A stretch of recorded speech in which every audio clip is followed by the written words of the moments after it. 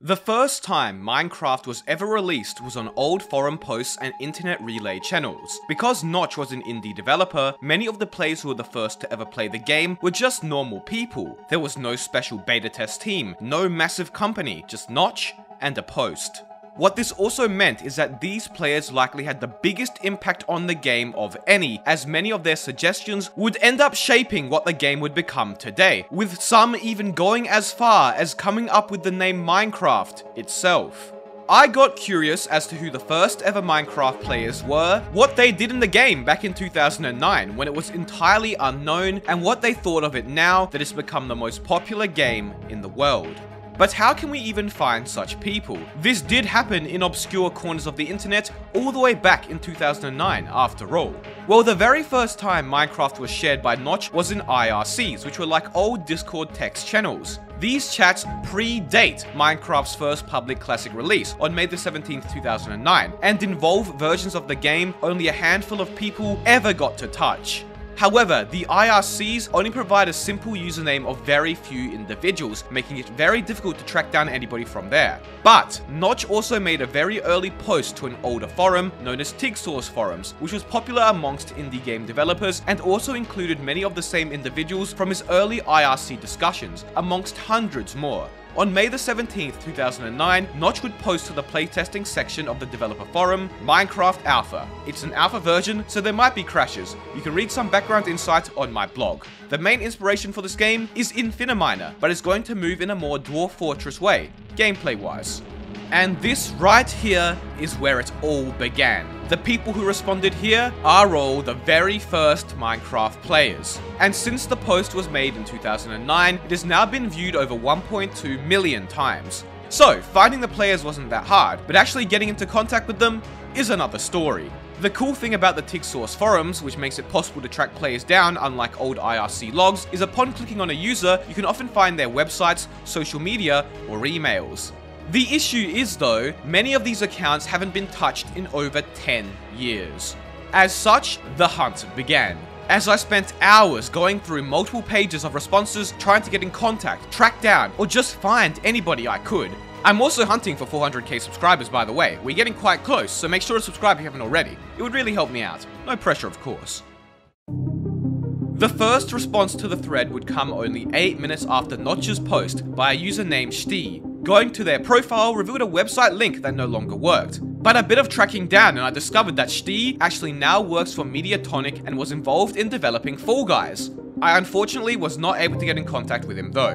Muku was also a dead end, with an account inactive since 2011 and an old blog not updated since 2009. However, the third comment left on the thread only 15 minutes later by Increpare had hope, and I managed to make contact. Increpare was one of the few people on Earth to play Minecraft only minutes after its public release. I asked him some questions. His initial impressions about the game were that the animations were fantastic and that it was very similar to Infiniminer, which for those of you who don't know, is an open source, block-based, sandbox building and digging game which Notch used as a lot of inspiration for Minecraft. Increpare distinguished that building was much more fun though, mentioning the game had a lot of potential, a statement which aged like the finest wine known to mankind. These are some early screenshots he would post of his tall tower he built, mentioning that he liked the ability to bridge build and that he got mild vertigo doing so. This would get the attention of Muku, who hadn't realized they could build bridges this way. Muku would later go on to suggest a slow walk key like shift that would prevent players from falling, a feature which Notch would end up adding to the game in 2010, known as sneaking.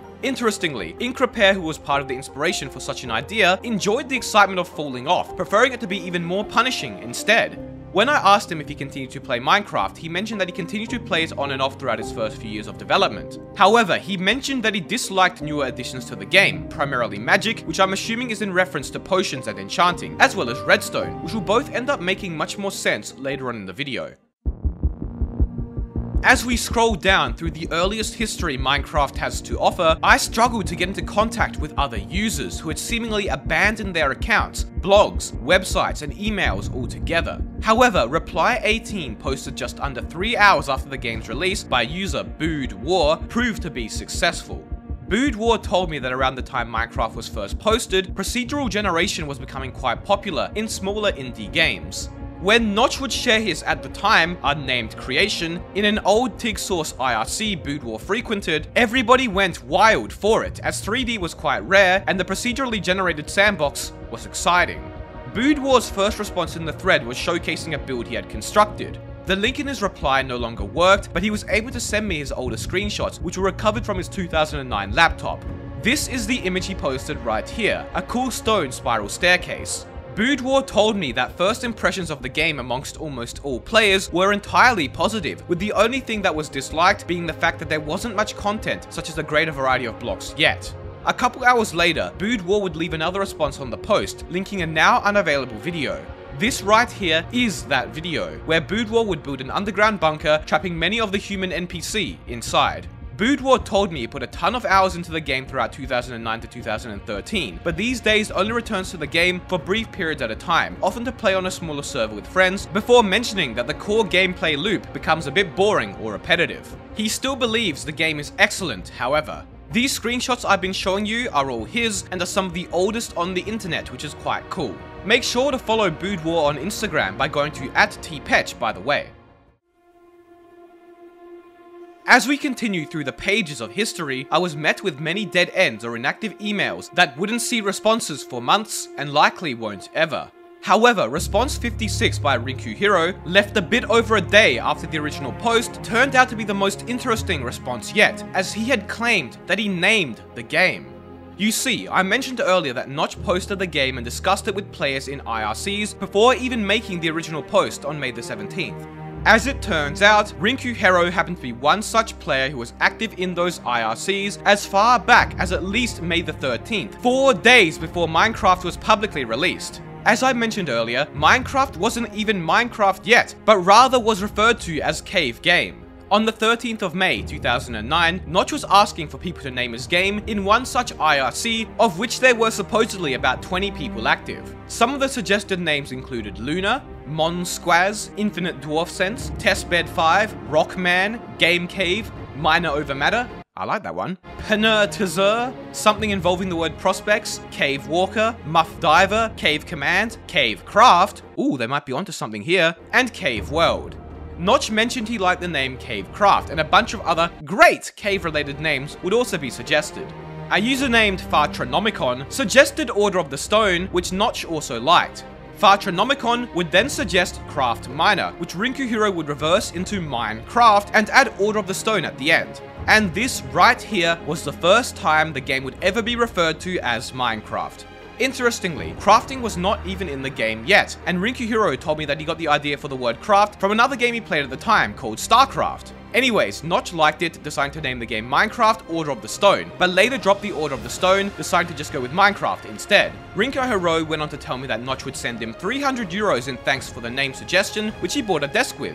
Since he was one of the few players in existence who would have played the game before it was even released in the original TIG source post, that's right, in its pre-classic releases, before it was even named, he truly is one of the first players, and his insights into the game were very unique. He told me that his early experiences with the game primarily involved digging really deep holes and tunnels, as well as tall towers. He also played online with a few friends, building SpongeBob characters that were supposedly defaced. Some things never change, I guess. Interestingly, Rinku Hero told me that some of Minecraft's early popularity may be in part due to a Team Fortress 2 blog post shouting out the game in mid-2010.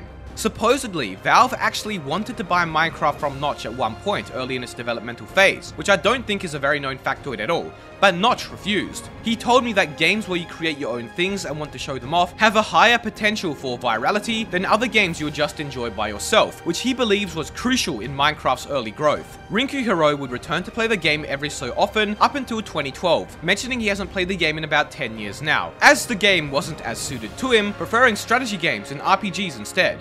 Rinku Hero was quite insightful due to his vast experiences in the indie game scene, so consider checking out his Twitter. I mentioned the game Infiniminer early on as the predecessor of Minecraft, correct? Well, I managed to get in contact with a user who we'll just refer to as K, who had some interesting insights into both. K was a player who had come from Infiniminer to Minecraft, and primarily disliked that in Infiniminer, there was a certain limit to how high you could build, amongst other issues such as a focus on a team or match-based system rather than a sandbox. You see, Infiniminer, while being very Minecraft-like at first glance, was a game where the goal was to collect and mine resources to score points for your team. But many early players found that it was more fun to just build than try to play competitively. K told me that Minecraft was trying to correct this, and the first time he played it, it allowed him to do exactly what he'd always loved doing in Infiniminer, which was to build and be creative. However, K did dislike how Notch was stealing some of Infiniminer's thunder, but mentioned it wouldn't end up mattering in the end, as Infiniminer would be discontinued under a month after its first release. K followed Minecraft's development up until version 1.0.0 released in late 2011, continuing to play throughout, but lost interest in the game around then. K mentioned he has come back to play it occasionally throughout the years, also mentioning a general dislike for potions and enchantments, preferring building and exploring. This is quite interesting, as it seems to be a common sentiment amongst the oldest players, likely going back to the point Rinku Hero mentioned, that early players primarily liked the creative freedom and sandbox elements of the game, rather than the survival and RPG aspects that would come later on. K also mentioned that he believed the hunger system wasn't implemented well at all, and that was one of the biggest issues he had with the modern game. And once again, a lot of older players would likely echo this sentiment. K also told me a very interesting story about having designed the Minecraft dwarf skin early on, which coincidentally ended up being used by none other than Simon or Honeydew from the YouTube channel The Yogscast, who became one of the most popular Minecraft YouTubers throughout 2010 to 2012. During Minecraft's early years, that very dwarf skin, popularized by Simon, went on to become one of the most, if not the most, widely used Minecraft skin. K mentioned that it was quite weird to see the skin he made become so famous and be used everywhere. But that's that. Like I mentioned, I tried contacting dozens of other older users, but to no avail. If you happen to be one such older player, however, please contact me on Discord, Twitter, or by email. I'd love to talk to more older players to hear their own insights and stories. If you enjoyed the video, consider subscribing and help me get to 400k. Thank you all so much for watching.